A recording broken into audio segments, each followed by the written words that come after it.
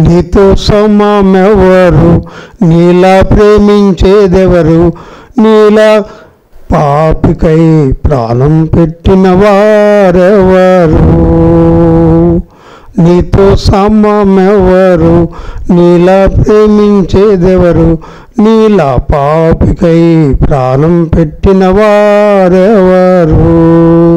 పలు వేదాలలో మత గ్రంథాలలో పాపమే శోకని పరిశుద్ధుడేడి. నీల జాలి గల ప్రేమ గల నీవేగా మంచి దేవుడవు. నీల జాలి గల ప్రేమ గల దేవుండిని నీవేగా మంచి దేవుడవు. నీతో సమమెవరు నీలా ప్రేమించేదెవరు? నీలా పాపికై ప్రాణం పెట్టిన వారెవరు? యేసుక్రీస్తు నామంలో మీకు అందరికీ వందనములు తెలియజేస్తూ ఉన్నాను. ఈ విధంగా ప్రార్థన టీవీ ద్వారా మిమ్మల్ని అందరినీ కలుసుకోవడం నాకు చాలా సంతోషంగా ఉంది. మరి ఒక నూతన మాసంలో ప్రవేశింపజేసిన దేవాది దేవునికి వందనాలు తెలియజేద్దాం. మరి గత కాలంలో ఎన్నో విషయాల గురించి మనం మాట్లాడుకుంటూ వచ్చాం. ఏదైనా ప్రత్యేకమైన రీతిగా ప్రార్థన గురించి మనం మాట్లాడుకుందాం. ప్రార్థన ప్రేయర్ ప్రార్థన అనేది మరి దేవునితో మనకి ఉండేటువంటి లింక్ అన్నమాట సంబంధం. మనల్ని దేవునితో అనుసంధానం చేసేటువంటి ఒక ఉపకరణ. దేవుణ్ణి కలుసుకునేటువంటి ఒక సాధనం. దేవునికి మనం విజ్ఞాపనలు మరి యాచనలు సమస్తం మన విషయాలన్నిటికీ కూడా దేవునికి మనకి ఉండేటువంటి సంబంధాన్ని పెంచేటువంటి ఒక కార్యక్రమం ప్రార్థన ప్రేయర్. ప్రార్థన అనేది మనకి చాలా సార్లు మనం ప్రార్థన విషయంలో చాలా ఇదిగా పరమతండ్రితో అది సంభాషణ అన్న విషయాన్ని మనం మర్చిపోయి మనం చాలా సార్లు నెగ్లెక్ట్ చేస్తూ ఉంటాం ప్రార్థనని. ప్రార్థన అంటే చాలా అశ్రద్ధగా ఉంటాం. కానీ ప్రార్థన మన జీవితాల్లో దేవునికి మనకి ఉండేటువంటి ఆ యొక్క లింక్ని ఆ యొక్క సంబంధాన్ని ఎక్కువ చేస్తుంది అనమాట కనుక మనము ప్రతి ఒక్కరం కూడా ప్రార్థనా జీవితాన్ని కలిగి ఉండాలి. ఈ ప్రార్థన అనేది మొట్టమొదటిగా మరి యేసుక్రీస్తు ప్రభు వారు మరి దేవాది దేవుడు ఏదేని తోటలో మరి యొక్క ఆదాము చేసి ఆదాము చేసి అక్కడ పెట్టినప్పుడు మరి వాళ్ళు అన్ని ఈ యొక్క వనములో ఏదేనిలో అన్ని యొక్క వృక్ష ఫలములు మీరు తినండి నిరభ్యంతరంగా. కానీ మంచి చెట్టులు తెలివినిచ్చి ఆ యొక్క చెట్టు యొక్క వృక్షం ఆ యొక్క ఫలాలు మాత్రం మీరు తినకండి. అది తిన్నదినాన చస్తారు అని చెప్పి చెప్పినప్పుడు మరి ఎప్పుడైతే మరి ఆవమ్మ దగ్గరికి వచ్చి అక్క సాతాను మోసపరిచిందో ఆమె తింది మరి తద్వారా మరి శాపాన్ని తీసుకొచ్చుకుంది. ఎందుకంటే ఆజ్ఞ అతిక్రమమే పాపం. దేవుడు ఏదైతే చేయొద్దని చెప్పాడో అదే చేశారు. చేసింది కాబట్టి చేసి మళ్ళీ ఆమె తిని మళ్ళీ ఆయన ఆదాం గారికి కూడా ఇచ్చింది. తద్వారా వాళ్ళు దేవునికి దూరం అయిపోయారు. మరి అంత క్రితం అయితే ప్రతిరోజు ఆయన సంభాషణ. స్వయంగా వచ్చి ఆ దేవాది దేవుడే వారితో మాట్లాడుతూ ఉండేవారు. అదమ్మా ఏం చేస్తున్నారు? అబ్బా ఏం చేస్తున్నారని చక్కగా ఆయన యొక్క సృష్టిని ఆయన అంటున్నారు. మన రూపములో మన పోలిక చొప్పున నరులను సృజించదము అని చెప్పేసి వారు అనుకున్నారు. అనుకుని తండ్రి మళ్ళీ చక్కగా ఆయన రూపంలో చేశారు. ఆయన రూపంలో చేసి మరి అక్కడ పెట్టినప్పుడు మరి దేవుడు చెప్పిన మాట వినకుండా మరి తను వ్యతిరేకించింది. తన యొక్క ఆజ్ఞను అతిక్రమించింది. ఆయన చెప్పిన మాట వినలేదు.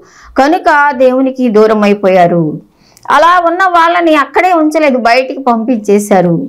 అంటే వాళ్ళకి సంబంధం తెగిపోయింది. దేవాదేవునితో సంబంధం తెగిపోయింది. బయటికి వెళ్ళిన తర్వాత మళ్ళీ ఇది ప్రేమగల దేవుడు అలాగే విడిచిపెట్ల. ఆ తర్వాత ఆయన బిడ్డల బిడ్డలమైన మనమే ఆదాముహవల బిడ్డల బిడ్డలమైన మనమే ఈ రోజున.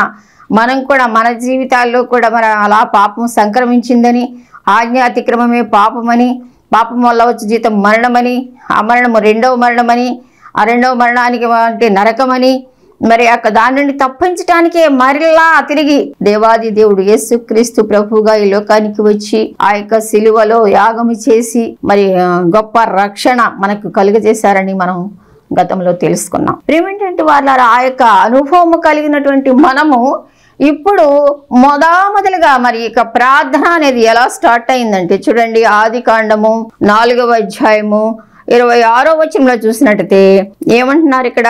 మరియు శేతనకు కూడా కుమారుడు పుట్టెను అతనికి ఏనోషు అని పేరు పెట్టెను. అప్పుడు యహోవా నామమున ప్రార్థన చేయుట ఆరంభమైనది. మనం అనుకున్నాం కదా ఆయన బిడ్డల బిడ్డలమే మనం అని చెప్పి. ప్రార్థన ఎనోషు కాలంలో ప్రార్థన ప్రారంభమైంది. ఆ బయటికి వచ్చినటువంటి వారు అలాగే నశించుకోవటం ఇష్టం లేక యేసుక్రీస్తు ప్రభు వారు సిలువలో చేసిన త్యాగాన్ని బట్టి మరి ఆ శిల్వ సిల్వ రక్తంలో కడుక్కొని సంధి చేసి దేవుని వాక్యం ఏం సెలవిస్తా ఉందంటే అక్కడ మరి సెలవులో మరణించినప్పుడు ఆ యొక్క ఆ- దేవాలయపు తెర చినిగేను అని ఉంది. అంటే అడ్డుని ఆయనకి మనకి ఉన్నటువంటి అడ్డు మరి ఎప్పుడైతే ఆ పాపము ద్వారా వచ్చినటువంటి ఆ యొక్క మరణము ద్వారా వచ్చినటువంటి నరకాన్ని ఆ శాపాన్ని ఆయన ఆ సిలువలో కొట్టివేశారనమాట తీసివేశారు. అయితే నీవు నేను చేయవలసింది ఏంటంటే సామాన్య విశ్వాసంతో దాన్ని ఒప్పుకోవాలి. అవును ప్రభా నా పాపం కొరకు కూడా నువ్వు మరణించావు. నేను కూడా ఆదాము హవల సంతానములో ఒకడైనటువంటి ఆ యొక్క జనరేషన్లో నుండి నేను మా తాతల తాతలేవారు మా పితరులే వాళ్ళు. వాళ్ళకి ఎలాగా ఆజ్ఞాతిక్రమం పాపం సంక్రమించిందో వారిని మాకును సంక్రమించింది. నేను పాపినే ప్రవ్వా. నా పాపమును క్షమించడానికి సిలువలో నువ్వు యాగం చేశావని మనం సామాన్య విశ్వాసంతో నమ్మితే చాలు. మన హృదయంలోకి ఆయన ప్రవేశించి ఆయనతో మనకు సంధి ఆయనతో మనం అనుసంధానం అవుతాము. దేవునితో మనము మరి ఒక మార్గాన్ని సిద్ధపరచుకుంటాము. ఒకవేళ ఈ జీవితమే శాస్త్రం కాదు ఈ భూమి మీద జీవించే జీవితమే శాస్త్రం కాదు వదినాడు తప్పకుండా మనం మనం చనిపోతాం. ఎలాంటి వారైనా మనం చనిపోవాల్సిందే. పేదైనా గొప్ప అయినా రాజైనా పేదైనా. ఎవరైనా చనిపోవాల్సిందే. డెబ్బై సంవత్సరాలు అధిక బలం ఉంటే ఎనిమిది సంవత్సరములు. ఆ తర్వాత మరణించవలసిందే. మరణించిన తర్వాత ఏదో ఒక ప్లేస్కి మనం ఇక్కడే నిర్ణయం చేసుకోవాలి. అయితే పరలోకమా లేకపోతే నరకమా? ప్రియ దేవుని మిడ్లారా మరి ఏదైనా సరే మనం ఇప్పుడు ఇక్కడ యేసుక్రీస్తు ప్రభు చేసిన యాగాన్ని మనం గుర్తించి మన పాపము ఆయన విలువైన రక్తంలో కడుక్కుని ఆయన బిడ్డలుగా ఉన్నప్పుడు మనం సంపూర్ణంగా ఒక నిరీక్షణ కలిగి ఉంటాం. మనకు ఒక హోప్ మనకు ఒక ఆనందం. ఈ లోకంలో ఒకవేళ ప్రభు వచ్చినా మనం మరణించిన పరలోక రాజ్యంలో ఉంటామనేటువంటి ఒక నిరీక్షణ. కనుక అయితే ఈ లోకంలో మనం దేవుని బిడ్డలంగా పెంచబడుతూ ఉన్నప్పుడు మరి ఆ యొక్క దేవునితో మనం అనుసంధానం కలిగి ఉండాలి. ప్రతి దినము ఆయనతో మనం మాట్లాడుతూ ఉండాలి. లేకపోతే మనము తప్పిపోయే వారంగా ఉంటాం. అవాలలాగా మార్కు శివార్త పదిహేనవ అధ్యాయం ముప్పై ఎనిమిదవ వచనంలో చూసినట్టయితే అప్పుడు దేవాలయపు తెర పైనుండి క్రిందకు రెండుగా చినిగెను. ఇక్కడ మనం కాలాల్ని రెండుగా విభజించవచ్చు. ఒకటి పాత నిబంధన కాలము రెండవది క్రొత్త నిబంధన కాలం. పాత నిబంధన కాలంలో మనం దేవుని దగ్గరికి వెళ్ళాలి అంటే దేవునితో మాట్లాడాలి అంటే ప్రార్థన గురించి మనం మాట్లాడుకుంటున్నాం. దేవునితో మాట్లాడే విషయం మనం మాట్లాడుకుంటున్నాం. దేవుని అనుసంధానం అయ్యే విషయం మనం మాట్లాడుకుంటున్నాం. పాత నిబంధన కాలం కొత్త నిబంధన కాలం రెండు కాలాలుగా మనం విభజించినప్పుడు పాత నిబంధన కాలంలో మనం దేవుని దగ్గరికి వెళ్ళి దేవునితో మాట్లాడాలి అంటే అప్పుడు ఏంటి? డైరెక్ట్గా వెళ్ళటానికి లేదు. అక్కడ ఒక అతి పరిశుద్ధ స్థలము పరిశుద్ధ స్థలం అని ఆ, ఏర్పాటు చేయబడి ఉండేవి దానిలోకి యాజకుడు మాత్రమే లేవి గోత్రముల నుంచి లేవి వంశంలో నుంచి వచ్చినటువంటి యాజకులు ఏర్పాటు చేయబడిన యాజకులు మాత్రమే వెళ్ళి ప్రజల పక్షంగా విజ్ఞాపన చేసి ప్రజల పక్షంగా ప్రార్థనలు చేసి ప్రజల పక్షంగా ఏదైనా సరే ఒక వ్యక్తి పక్షంగా మరి వార్త వారితో చెప్పినప్పుడు వారు వెళ్ళి దేవుని సమర్పించుకోవాలన్నా సరే వారు వెళ్ళి మరి చేసి వచ్చి మరి ప్రజలకు మరి తిరిగి రిప్లై చెప్పేవాళ్ళు అంటే డైరెక్ట్గా మనం వెళ్ళడానికి లేదు. కానీ ఆ దినాలలో అలా జరిగింది. కానీ కొత్త నిబంధన కాలంలో ఇది నిబంధన చేశారు. ఏమైనా సిలువలో చేసిన యాగమును బట్టి ఆ అడ్డు తెర పరిశుద్ధ స్థలానికి అతి పరిశుద్ధ స్థలానికి ఉన్నటువంటి అడ్డు తెరను యేసుక్రీస్తు ప్రభు వారు సిలువలో చింపివేశారు తీసివేశారు. ఆయనకి మనకి ఉన్నటువంటి ఆ యొక్క అడ్డుని తీసివేశారు. ఇప్పుడైతే స్వేచ్ఛగా ఎప్పుడైనా ఎక్కడైనా మనం దేవుని సన్నిధికి వెళ్ళి ప్రార్థన చేసుకోవచ్చు. యేసుక్రీస్తు నామములో మనం చూడండి ప్రార్థన చేసేటప్పుడు యేసు నామములు ఎందుకంటే ఆయన చేశారు కనుక ఆ గొప్ప శిల్వ కార్యాన్ని. ఆ గొప్ప శిల్వ కార్యాన్ని ఆయన చేశారు కనుక యేసు నామములో మనం యేసు నామము గుండా మనం వెళ్తున్నాం అన్నమాట. కనుక ప్రేమేంటంటే వాళ్ళరా ప్రార్థనా జీవితం విషయంలో మనం మాట్లాడుకుంటాం. వస్తున్నాం. అలాగా మనం మరి ఏసునామంలో మనం దేవుని సన్నిధిలో వెళ్ళటానికి ఏ సమయంలోనైనా ఎప్పుడైనా ఎక్కడైనా మనం ఏ విషయాలైనా ఒక స్నేహితుతో ఒక తండ్రితో ఒక ప్రియునితో మాట్లాడుకున్నట్లుగా మనం స్వేచ్ఛగా మాట్లాడుకోవడానికి అవకాశం ఇచ్చారు. ఆ యొక్క సిలువలో చేసినటువంటి కార్యాన్ని బట్టి. మరి మనం ఇప్పుడు కూడా మన ప్రియ సోదరులు కొంతమంది మరి కొన్ని డినామినేషన్స్లో మరి ఆ పరిశుద్ధ స్థలంలోకి ప్రవేశించకుండా మరి వెళ్ళి ఆ యొక్క కొంతమంది పాస్టర్స్ అనకూడదు వాళ్ళని. ఆ బ్రదర్స్తో చెప్పితే వాళ్ళు వెళ్ళిపోయి అక్కడ అతి పరిశుద్ధ స్థలంలో చెప్పటం మళ్ళీ రావడం అవి ఇప్పటికి కూడా కొనసాగుతున్నాయి. చాలా దుఃఖకరమైన విషయాలు. కానీ దేవుడు అన్నిటిని కూడా మనల్ని త్యజించి తీసివేసి నెరవేర్చి మనం ఇప్పుడు స్వేచ్ఛగా ఆయన దగ్గర ప్రవేశించి నీ హృదయంలో ఉన్న బాధ బాధంతా నీ హృదయంలో ఉన్న వేదనంతా నీ హృదయంలో ఉన్న పరిస్థితి అంతా దేవునితో ప్రార్థన అంటే ఆయనతో సంబంధము. ఆయనతో మాట్లాడుట ఆయనతో సంభాషణ. నీ హృదయంలో ఉన్న బాధను ఆయనకి చెప్పుకోవడం నీ హృదయంలో ఉన్న పరిస్థితి అంతటినీ కూడా ఆయనకి చెప్పుకోవటం దానిని ప్రార్థన అంటాం అన్నమాట. ఎప్పుడైతే ఇక్కడ కూడా ఆ యేసుక్రీస్తు ప్రభు వారు కూడా ఆ యాగం చేసిన తర్వాత ఇక్కడ యేసు ప్రభు వారు కూడా చాలా ప్రార్థన చేశారు. ఇప్పుడు మనం యేసుక్రీస్తు ప్రభు అంటే ఆయన సంపూర్ణ మానవుడు సంపూర్ణ దేవుడు. యేసు సంపూర్ణ దేవుడు సంపూర్ణ మానవుడు. ఆయన మరి సంపూర్ణ మానవుడు కనుకనే మరి అక్కడ వచ్చే సిలువలో అన్ని బాధలు పడ్డాడు. అన్నీ తెలుసు ఆయనకి. నొప్పి బాధ అన్ని కూడా. అన్ని త్యజించాడు అన్ని అప్పగించాడు అన్ని కష్టాలు పడ్డారు. ఎందుకు? నీకోసం నా కోసం. మనల్ని అతి పరిశుద్ధ స్థలంలోకి దేవుని దగ్గరికి తీసుకుని వెళ్ళడానికి అడ్డుగా ఉన్నదాన్ని తీసు. కాబట్టి ప్రేమేంటంటే వాళ్ళ యేసుక్రీస్తు ప్రభు వారు కూడా అటువంటి గొప్ప దేవుడు మానవుడు ఈ లోకంలోకి వచ్చినప్పుడు ఆయన కూడా ఒక ప్రార్థన చేశారు. చూడండి హెబ్రి పత్రిక ఐదవ అధ్యాయం ఏడవ వచనంలో చూసినట్టయితే శరీరధారి అయి ఉన్న దినములలో మహారోదనముతోనూ కన్నీళ్ళతోనూ తను మరణము నుండి రక్షింపగల వానికి ప్రార్థనలను యాచలను సమర్పించి భయభక్తులు కలిగి ఉన్నందున ఆయన అంగీకరింపబడేను. శరీరధారి అయి ఉన్న దినాలలో మహారోదనముతోనూ కన్నీళ్ళతోనూ యస్సు ప్రభు యస్సుక్రీస్తు ప్రభు వారు ఆయన అంగీకరించబడటానికి భయభక్తులతో అని ఉంది ఇక్కడ. ఎందుకు అంత ఆయన అంగీకరించబడటానికంటే ఆ శరీరధారిగా ఉన్న దినాలలో మహారోదనముతోనూ కన్నీళ్ళతోనూ ఆయన మరి ప్రార్థన చేసినట్టుగా దేవుని వాక్యం సెలవిస్తూ ఉంది. అంతేకాదు చూడండి ఆయన పెందలకడనే లేచి మనం ప్రార్థన గురించి మాట్లాడుకుంటున్నాం. ప్రార్థన మరి యొక్క దేవునితో సంబంధం అని మాట్లాడుకున్నాం. ఆ తర్వాత మరి ఒక్కొక్క ప్రార్థన మనం చూస్తూ వస్తున్నాం. యేసుక్రీస్తు ప్రభు వారు ఎలా ప్రార్థన చేశారో మనం చూసుకుంటున్నాం అనమాట చూసుకున్నప్పుడు ఇక్కడ చూడండి ఆయన శరీరధారిగా ఉన్నప్పుడు ఈ లోకంలో ముప్పై మూడున్నర సంవత్సరాలు మన కోసం జీవించారు కదా. మరి అక్కడ జీవించినప్పుడు ఆయన శరీరధారిగా ఉన్నప్పుడు మహారోదనముతో కన్నీళ్ళతో ప్రార్థన చేసేవారంట. ఆయన రక్షింపగల వానికి అని చెప్పి చాలా స్పష్టంగా సెలవిస్తుంది. అక్కడ చూడండి మళ్ళీ తర్వాత మార్కు వార్త ఒకటో అధ్యాయం ముప్పై ఐదో వచనంలో కూడా చూసినట్టయితే ఆయన పెందల కడనే లేచి ఆయన పెందల కడనే లేచి ఇంకనూ చాలా చీకటి ఉండగానే బయలుదేరి అరణ్య ప్రదేశమునకు వెళ్ళి అక్కడ ప్రార్థన చేయుచుండెను. ఏకాంత ప్రార్థన అనమాట పెందల కడది లేచి. ఇంకా చీకటి ఉండగానే లేచిపోయారంట. చూడండి వెళ్ళి అరణ్య ప్రదేశానికి అంటే ఒంటరిగా ఒంటరి ప్రార్థన ఒంటరి ప్రార్థన అనమాట అక్కడికి వెళ్ళిపోయి యేసుక్రీస్తు ప్రభు వారు ఒక ప్రార్థన గురించి మనం మాట్లాడుకుంటున్నాం. ఆయన కూడా ఎంత అవసరమో ప్రార్థన ఎంత ప్రార్థన చేశారో మనం తెలుసుకుంటున్నాం అనమాట ఆ తర్వాత ఆ, శరీరధారి ఉన్నప్పుడు ప్రార్థన చేశారు. ఆయన పెందన కడలేసి ప్రార్థన చేశారు. ఆ తర్వాత మార్కు సవత పద్నాలుగు ముప్పై రెండులో కూడా చూడండి. వారు గెచ్చమని అనబడిన చోటునకు వచ్చినప్పుడు ఆయన నేను ప్రార్థన చేసి వచ్చే వరకు మీరు ఇక్కడ కూర్చున్నాడని తన శిష్యులతో చెప్పి పేతుర్ను యాకోబును యోహాను వెంట పెట్టుకుని పోయి మిగుల విభ్రాంతి చింతాక్రాంతి ఒకటిను ఆరంభించాను. ఎందుకంటే ఇక్కడ మనకు తెలుసు అన్ని అప్పగిస్తారు ఆ రాత్రే. ఆయనకి తెలుసు అన్నీని కూడా నేను సిలువకు ఎక్కవలసి ఉంది ప్రాణము అర్పించవలసి ఉంది.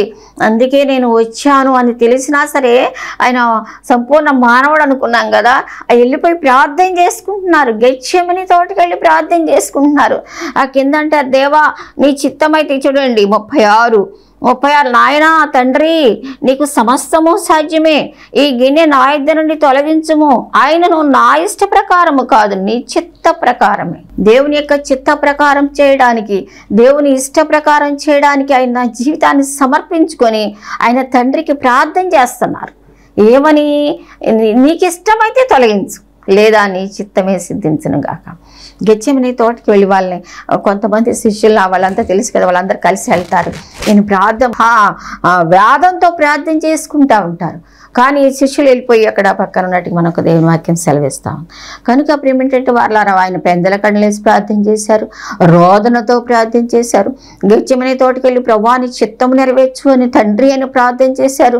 అంతేకాదు చూడండి యోహన్ స్వార్త పదిహేడు ఒకటిలో కూడా యేసు ఈ మాటలు చెప్పి ఆకాశం వైపు కనులెత్తి ఇట్లను తండ్రి నా గడియ వచ్చి ఉన్నది నీ కుమారుడు నిన్ను మహిమపరచునట్లు నీ కుమారుని మహిమపరచుమని ప్రా తండ్రికి ప్రార్థన చేస్తున్నారు. ఆ పైన చూస్తే ఆయన హెబ్రిల్కి రాసిన పత్రికలోనేమో ఆయన రోదనంతో ప్రార్థించారు. ఆ తర్వాత ఏమో చాలా పెందరకడలే వెళ్ళిపోయేసి ప్రార్థన చేసుకుంటున్నారు. ఆ తర్వాత ఏమో గిచ్చిమీన్ తోటలో సిలువకు వెళ్ళక ముందు ప్రార్థన చేస్తున్నారు. ఇక్కడేమో తండ్రి ఆకాశమేమి ఆకాశం వైపు తండ్రి నా గడియ వచ్చేసింది అని చెప్పేసి అక్కడ ప్రార్థన చేస్తూ ఉన్నారు. ఆ తర్వాత నీవు నాకు అనుగ్రహించిన పదిహేడు తొమ్మిది పదకొండులో కూడా చూడండి ఒక్కసారి. నేను వారి కొరకు ప్రార్థన చేయించున్నాను లోకము కొరకు ప్రార్థన చేయట్లేదు. నీవు నాకు అనుగ్రహించి ఉన్నవారు నీ వారైనందున వారి కొరకే ప్రార్థన చేయుచున్నాను. నావన్నీ నీవి అని చెప్పేసి ఎవరైతే లోకం నుండి ఏర్పరచబడ్డారో ఎవరైతే దేవుని వారి కోసం నేను ప్రార్థన చేస్తున్నాను తండ్రి అని తండ్రికి ప్రార్థన చేస్తున్నారు. కింద కూడా చూడండి ఇంకేమని ప్రార్థన చేస్తున్నారు. పదకొండవ వచనములో నేను ఇక లోకములో ఉండను కానీ మీరు లోకములో ఉన్నారు. నేను మీ యొద్దకు వచ్చుచున్నాను. పరిశుద్ధమైన తండ్రి మనము ఏకమై ఉన్నలాగున వారును ఏకమై ఉండునట్లు నీవు నాకు అనుగ్రహించిన నీ నామందు వారిని కాపాడుము. మనము అంటే తండ్రి తండ్రి నువ్వు నేను ఎలా ఏకమై ఉన్నామో అలాగే నువ్వు నాకు ఇచ్చినటువంటి ఈ యొక్క బిడ్డలు కూడా అలాగ ఏక మనస్సు కలిగి ఉండేలాగా మరి సహాయం చేయండి అని తండ్రికి ప్రార్థన చేస్తున్నట్టుగా మనం ఇక్కడ చూస్తూ ఉన్నాము. తండ్రికి ప్రార్థన చేశారు.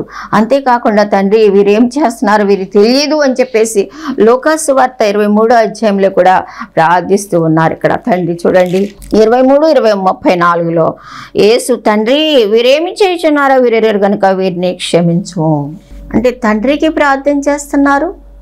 వ్యక్తిగతంగా మరి తను ప్రార్థన చేసుకుంటున్నారు. మరి మరణం నుండి తప్పించగలవానికి శక్తి కొరకు ప్రార్థన చేస్తూ ఉన్నారు. రకరకాలుగా యేసుక్రీస్తు ప్రభు వారు కూడా ఈ లోకంలో ఉన్నప్పుడు సంపూర్ణ దేవుడుగా సంపూర్ణ మానవుడిగా ఆయన ప్రార్థన చేస్తూ వచ్చారు.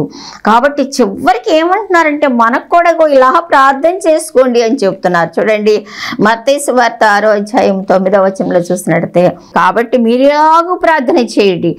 పరలోకమందున్న మా తండ్రి నీ నామము పరిశుద్ధ గాక నీ రాజ్యం వచ్చును గాక నీ చిత్తము నెరవేరుచున్నట్లు భూమి ఎందు నెరవేరును గాక నేడు మాకు దయచేయము. మా రుణస్తులను మేము క్షమించి ఉన్న ప్రకారము మా రుణములు క్షమించుము.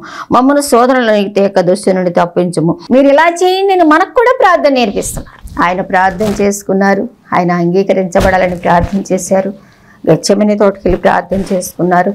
ఇవన్నీ చేసుకున్నారు. మనం కూడా ఎలా ప్రార్థన చేసుకోవాలో మనకి ప్రభు వారు తెలియజేశారు. కనుక ప్రిమెంటెంట్ వారు ప్రార్థన యొక్క ఇంపార్టెన్స్ ప్రార్థన యొక్క అవసరత దేవునితో అనుసంధానము కలిగి ఉండడానికి దేవునితో లింక్ కలిగి ఉండడానికి ప్రార్థన ఒక్కటే మార్గము. కనుక దానికి ఎంత మరి ఆయన కూడా ఎంత దేవునితో సంబంధం కలిగి ఉన్నారో చూడండి. ఇంకా బైబిల్ గ్రంథంలో చాలా చోట్ల యేసుక్రీస్తు ప్రభు వారు ప్రార్థించినట్టుగా ఉన్నవి. మరి వాటన్నిటిని మనం చూసుకున్నప్పుడు ఎంత ఆయన ప్రార్థనకు ఇంపార్టెన్స్ ఇచ్చారో తండ్రితో మాట్లాడే విషయంలో మనకి ఇక్కడ దేవుడి వాక్యంలో స్పష్టంగా తెలుస్తూ. కనుక ప్రిమిటెంట్ వారు ప్రతి విషయంలోనూ ప్రార్థన జీవితానికి ఎక్కువ మరి సమయాన్ని ఇవ్వాలని మనం తెలుసుకుంటూ ఉన్నాం. ఇక్కడ చూసి మనం యొక్క ప్రార్థనా అవస్థలు తెలుసుకున్నాం. మరి దేవునితో పోయిన సంబంధాన్ని ప్రార్థన వల్ల మాత్రమే మరి సంపాదించుకోగలమని తెలుసుకున్నాం. ఆ తర్వాత యేసుక్రీస్తు ప్రభువారు ఎలా ప్రార్థించారో తెలుసుకున్నాం. ఇప్పుడు మన జీవితాల్లో మనం ఎలా ప్రార్థించాలి? ఒకటి వ్యక్తిగత ప్రార్థన మనం కలిగి ఉండాలి. ఫస్ట్ ఆఫ్ ఆల్ వ్యక్తిగత ప్రార్థన పర్సనల్ ప్రేయర్ నువ్వు నీ జీవితంలో ఉదయకాలం నువ్వు లేచిన తర్వాత మరొక దినాన్ని దేవుడికి ఇచ్చాడు అంటే ఎంతమంది పడుకుని అసలు లేవట్లేదు. అలాగే వెళ్ళిపోతున్నారు. దేవుడు నిన్ను ప్రేమించి మరొక నూతన దినాన్ని ఇచ్చాడంటే ఉదయకాలం లేచిన తర్వాత first time first time first time first దేవుడు గాడ్ దేవుడు నిన్ను సృష్టించిన సృష్టికర్త. నిన్ను ఈ లోకంలో ఇంకా ఉండడానికి ఇష్టపడినటువంటి దేవుడు నీకు ఇచ్చిన సమయాన్ని బట్టి మొదటిగా నువ్వు దేవుని స్థుతించేదానుగా స్థుతించేవాడుగా ఉండాలి. మొదటి సమయాన్ని దేవునికి ఇవ్వాలి. పర్సనల్ ప్రేయర్ విషయంలో శ్రద్ధ కలిగి ఉండాలి. ఆత్మీయ జీవితంలో ఎదగాలి అంటే దేవునితో మనకు ఉండే సంబంధాన్ని బట్టి మన ఆత్మీయ జీవితం కొలత వేయబడుతుంది. కనుక మనం వ్యక్తిగత ప్రార్థనకి మరి పర్సనల్ ప్రేయర్కి ఎక్కువ ఇంపార్టెన్స్ ఇవ్వాలి. ఉదయకాలం లేచి మొదటిగా మనం ఆయన ఎంత మహోన్నతుడో ఎంత గొప్ప దేవుడో ఎంత సర్వాధికారియో ఎంత సృష్టికర్తయో మరి సృష్టికర్త నిన్ను చేసి నిన్ను అలాగ ఉంచాడు అంటే అంటారు మన రూపములో మన పోలిక చొప్పున చేసుకుందాం నరుల్ని అని చెప్పేసి అనుకుంటారు అనమాట తండ్రి కుమార పరిశుద్ధాత్మలు మరి ఆ సంభాషించుకున్నట్లుగా మనం దేవుని వాక్యాలను చూస్తూ ఉంటాం. మరి కనుక మన ఆయన రూపంలో ఉన్నటువంటి మనల్ని ఆయన చక్కగా చేసి ఈ లోకంలో మరి ఉంచారంటే ఆయన సృష్టికర్తవని ఆయన మొదటగా మనం ఆయన స్థుతించాలి ఆయన ఎంత శక్తివంతుడో ఆయన ఎంత సర్వాధికారో ఆయన ఉన్నవాడు అనవాడు ఒక్కడే దేవుడు ఆయన తప్ప వేరే దేవుడు లేడు. ఆయనకు అసాధ్యమేం లేదు. ప్రభా నువ్వు ఎంత శక్తిమంతుడివి సర్వాధికారివి సృష్టికర్తవి ఉన్నవాడువు అనువాడువని మనం ఆయన మొదటిగా స్థుతించాలి ఆయన ఏమై ఉన్నారో ముందు మనం స్థుతించాలి ప్రార్థన అంటే ముందు ఫస్ట్ గాడ్ దేవుడు ఆయన ఏమై ఉన్నారు. ఆ తర్వాత మనం మనమేమై ఉన్నాము ఆయన్ని బట్టి. ప్రభా నన్ను ఎంత ప్రేమించావు నన్ను ఎంత జ్ఞాపకం చేసుకున్నావు ఎంత భాగ్యం నాకు ఇచ్చావు. ఈ లోకంలో ఎంతమంది దేవుడు లేకుండా లోకములో పాపములో దౌర్భాగ్యులై భ్రష్టులై మరి దేవుడంటే తెలియకుండా నాస్తికత్వంలో దేవుడంటే తెలిసినా కూడా తెలియనట్టుగా రకరకాల జీవితాలు జీవిస్తున్నటువంటి దినాల్లో ప్రభు ఒక వ్యక్తి దేవుని తెలుసుకొని మరి దేవునిలో ఉంటున్నారంటే అది గాడ్స్ దేవుని కృప ఆయన ప్లాన్ నీ పట్ల. అందుకే అంటే అనాది సంకల్పములో భూమి పునాదులు వేయబడక ముందే నిన్ను ఎరిగాను అంటున్నాడు. ఎంత ఉన్నతమైన ప్లాన్ని ఎడల. దాన్ని బట్టి మనం ఎంత దేవుని మనం స్థుతించవలసిన వారంగా ఉన్నాం. మరి దేవుని ఎంతో మనం స్థుతించాలి ఆ తర్వాత మనం మొదటగా దేవుడు ఏమై ఉన్నాడో ఆయన ఘనపరచాలి. ఆ తర్వాత మనకేమై ఉన్నారో. ఒకప్పుడు లోకంలో పాపంలో ఉన్నప్పుడు ప్రభా నన్ను రక్షించావు సిలువ యాగం చేసావయ్యా నా కోసం మరణించావయ్యా. ఎవరు మన కోసం మరణిస్తారు? ప్రాణం పెడతారా? ఎవరు ప్రాణం? మన భర్త మన బిడ్డల మన బంధువుల మన స్నేహితులు మన కోసం ఎవరు ప్రాణం పెడతారు? ఆయన ప్రాణం పెట్టాడు. ఉదయకాలం లేచి ఆయన స్థుతులు అర్పించాలి. దేవుని వాక్యం ఏమని సెలవిస్తుంది చూడండి కీర్తనలు నలభై తొమ్మిది తొమ్మిదిలో. వాని ప్రాణ విమోచన ధనము బహు గొప్పది. అది ఎన్నటికీ తీరక అట్లు ఉండవలసిందే మన ప్రాణ విమోచన ధనం బహు గొప్పది. అంటే అది ఎంతో వాల్యుబుల్ అది విలువ కట్టలేనంత గొప్పదనమాట. ఆయన గొప్ప రక్షకుడు యొక్క ప్రాణము ఆ యొక్క రక్తము నీకోసం శిలువ మరణము ఇన్ని బాధలు. అంటాడు భక్తుడు సెలవిస్తున్నాడు వారి ప్రాణ విమోచన ధనం బహు గొప్పది. అది ఎన్నటికీ తీరక అట్లు ఉండవలసిందే. అంటే ఆ రుణం అది మనం తీర్చలేము ఆయనకి ఎంత ఎంత స్థుతించినప్పటికీ నీ సంఘలో రుణస్థులం ప్రభు అని. మొదటిగా మనం ఆయన్ని స్థుతించాలి ఫస్ట్ ఆయన గొప్పతనాన్ని స్థుతించాలి ఘనపరచాలి. ఆ తర్వాత మనల్ని జ్ఞాపకం చేసుకున్న విధానాన్ని బట్టి దేవుని మనం స్థుతించవలసిన వారంగా ఉన్నాము. ఆ తర్వాత చూసినట్టే చాలాసార్లు మనము మొదలుపెట్టి మొదలుపెట్టి ప్రార్థన అనగానే అన్నీ కూడా ఎన్ని చేస్తూ ఉంటాం. కానీ ఉదయకాలమిన చక్కని ఉదయకాలమిన ఇక్కడ భక్తుడు ఏమంటున్నాడు చూడండి కీర్తన గ్రంథము ఐదవ అధ్యాయం మూడవ వచనం చూసినట్టే యహోవా ఉదయమున నా కంఠస్వరం నీకు వినబడను. ఉదయమున నా ప్రార్థన సన్నిధిని సిద్ధము చేసి కాచి ఉందును. దేవా ఉదయాన్నే నా ప్రార్థన సన్నిధిలో తప్పకుండా వినపడుతుంది అంతే. నా- నా ప్రార్థన సిద్ధము చేసి కాచి ఉందును. ఆయన దావిదు మహారాజు రాజుగారు. ఆయన రాజుగారికి ఎన్ని పనులు ఉంటాయి? మనమే ఏదో పెద్ద పని ఉన్నట్టుగా చాలా బిజీ బిజీ అన్నట్టుగా ఫీల్ అయిపోతాం. ఆయన రాజుగారు అంటున్నాడు ఉదయాన్నే సిద్ధంగా ఉంటాను దేవా నేను నిన్ను కలుసుకోవడానికి నిన్ను ప్రార్థన చేసుకోవాలి నిన్ను మనసారా స్థుతించుకోవాలి. నేను సిద్ధంగా ఉంటాను ఉదయకాలం నీ దగ్గర సిద్ధంగా ఉంటాను. నా ప్రార్థన సిద్ధము చేసి కాచి ఉంటాను. ఇదేంటి? ప్రార్థన కూడా సిద్ధం చేసుకోవాలా? చేసుకోవాలి. దేవుని సన్నిధిలో అనాలోచితంగా మాట్లాడకుండా ఏది పడితే అది మాట్లాడకుండా చెప్పాను కదా ముందుగా ఆయన గొప్పతనాన్ని మనం స్థుతించాలి ఘనపరచాలి. ఆ తర్వాత మనం ఏమై ఉన్నామో ఆయన మనం జ్ఞాపకం చేసుకుని ఆయన మనల్ని ఎలా ఎటువంటి వారిని ఎటువంటి స్థితిలోకి ఆయన మరణం ద్వారా నడిపించారో ఆయన స్థుతించాలి. కీర్తన గ్రంథంలో నూట ముప్పై తొమ్మిది ఇరవై నాలుగు. ఆ ఇరవై మూడులో కూడా చూడండి. దేవా నన్ను పరిశోధించి నా హృదయం తెలుసుకును నన్ను పరీక్షించి నా ఆలోచనలు తెలుసుకును నీకు ఆయాసకరమైన మార్గం అన్న ఆయన ఉన్నదేమో చూడము. నిత్య మార్గం అన్నాడు. అలాగా లైన్ పెట్టేసి దేవా నాకు ఇది తెచ్చి అది తెచ్చి అది ఇది ఇదే కాదు.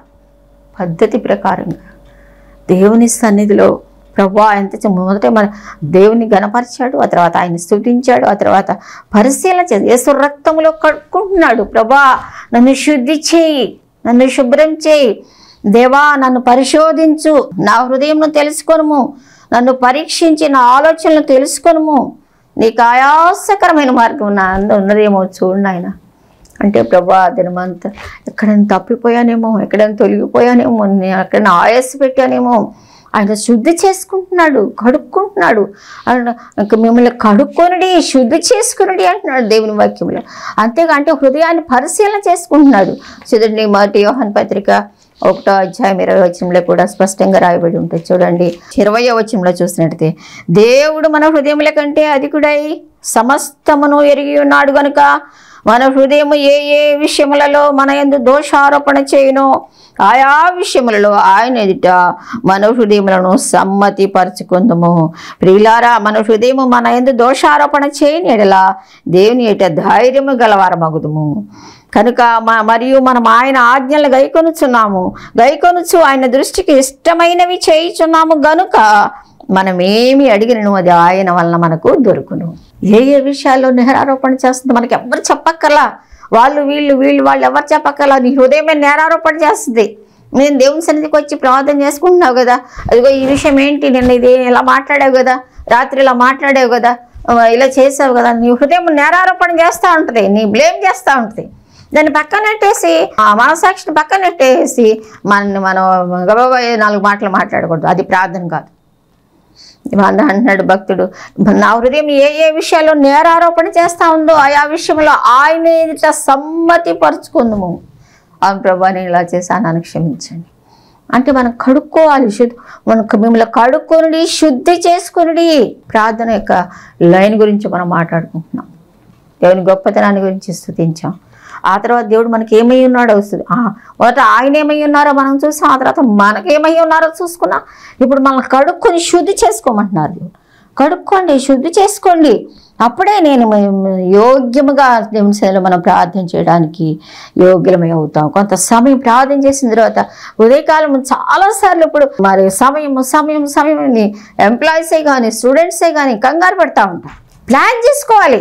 ఓ పర్టికులర్ టైం చక్కగా ఇదిగో ఇన్ని గంట ముందు అనుకోండి నీ గంట ముందైతే నా పని కంప్లీట్ అవుతుంది కాబట్టి గంట ముందు లేవండి.